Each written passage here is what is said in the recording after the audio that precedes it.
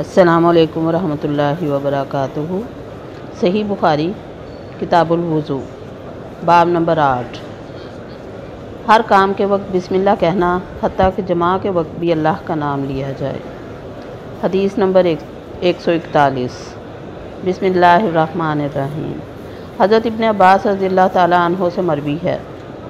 वो इस हदीस को नबी सल्लल्लाहु अलैहि वसल्लम तक पहुंचाते थे। आप सल्लल्लाहु अलैहि वसल्लम ने फरमाया जब तुम में से कोई शख्स अपनी बीवी के पास जाए तो कहे, अल्लाह के नाम से ए अल्लाह, हमें शैतान से महफूज रख, और इसे भी शैतान से महफूज रख, जो तू हमें अनायत फरमाए। फिर इन दोनों को अगर कोई औलाद नसीब हो तो शैतान इसे नुकसान नहीं पहुंचाएगा। बाब नंबर नौ बैतुलखला जाने की दुआ। हदीस नंबर एक सौ बयालीस। बिसमीम हज़रत अनस रज़ी तु से रवायत है। उन्होंने फरमाया कि नबी सल्लल्लाहु अलैहि वसल्लम जब बैतुलखला जाते तो फरमाते थे, ए अल्लाह, मैं नापाक चीज़ों और नापाकियों से तेरी पनाह चाहता हूँ। अल्लाहनी आज़ुबिका मिनलखबूसी वलखबाइस इबन उर्वा ने इस हदीस की शोबा से बयान करने में मुताबियत की है और गंदर ने शोबा से ये अल्फाज रवायत किए हैं। जब आप सल्लल्लाहु अलैहि वसल्लम बैतुलखला के लिए आते, दाखला के बजाय आता का लफ्ज़ इस्तेमाल किया और मूसा ने हमाद के वास्ते से बयान किया। जब दाखिल होते और सईद बिन जैद ने कहा, हमें अब्दुल अज़ीज़ ने बयान किया कि जब आप बैतुलखला जाने का इरादा फरमाते तो मस्कूरा दुआ पढ़ते। बाब नंबर दस बैतुलखला के पास पानी रखना। हदीस नंबर एक सौ तैंतालीस। बिसमीम हज़रत इबन अब्बास रज़ी तहों से रवायत है।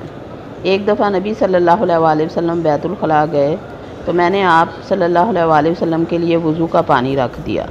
आप सल्लल्लाहु अलैहि वसल्लम बाहर निकल कर पूछा, ये पानी किसने रखा है? आप सल्लल्लाहु अलैहि वसल्लम को बताया गया तो आप सल्लल्लाहु अलैहि वसल्लम ने फरमाया, ए अल्लाह, इसे दीन की समझ अता फरमा। बाब नंबर ग्यारह, कज़ाए हाजत के वक्त किबला रुख ना बैठा जाए, इल्ला ये कि कोई इमारत हो जैसे दीवार वगैरह। हदीस नंबर एक सौ चवालीस। बसमीम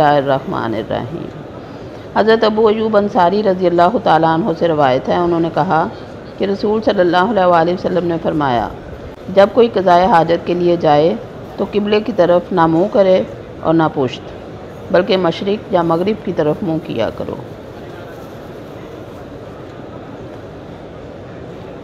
बाब नंबर बारह, ईंटों पर बैठकर कज़ाए हाजत करना।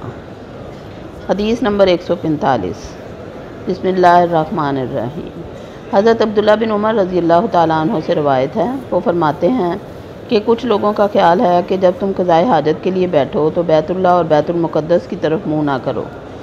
हालाँकि मैं एक दिन अपने घर की छत पर चढ़ा तो देखा कि रसूलुल्लाह सल्लल्लाहु अलैहि वसल्लम कज़ाए हाजत के लिए दो कच्ची ईंटों पर बैतुलमुक़द्दस की तरफ़ मुँह करके बैठे हैं। हज़रत इब्न उमर रज़ी अल्लाह तहों ने वासे बिन हसान से कहा, शायद तुम इन लोगों में से हो जो अपनी सरीनों पर नमाज़ पढ़ते हैं, यानी ज़मीन से चिमट कर। वासे ने कहा वल्ला मैं नहीं जानता कि आपका मतलब क्या है। मालिक कहते हैं, इब्न उमर इससे वो शख्स मुराद लेते हैं जो नमाज़ पढ़े और ज़मीन से ऊँचा ना हो। सजदा इस तरह करे कि ज़मीन से लगा रहे। वमा अल्लाह हाफिज़।